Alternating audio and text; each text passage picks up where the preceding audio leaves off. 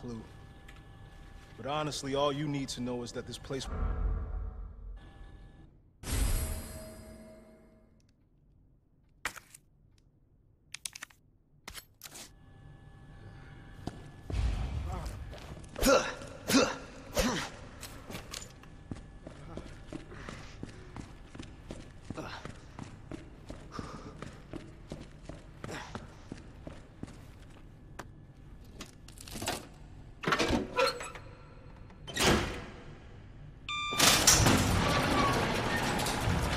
This is not how I imagined my first day.